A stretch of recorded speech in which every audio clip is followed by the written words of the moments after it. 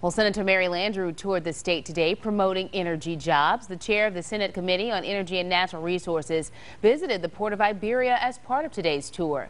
The port produces topside offshore platforms, and Congress just passed a bill to allow the port to dredge its canal. We were able to green light, uh, authorize, and clear the way for this port to generate additional jobs and business by basically authorizing the deepening of this channel.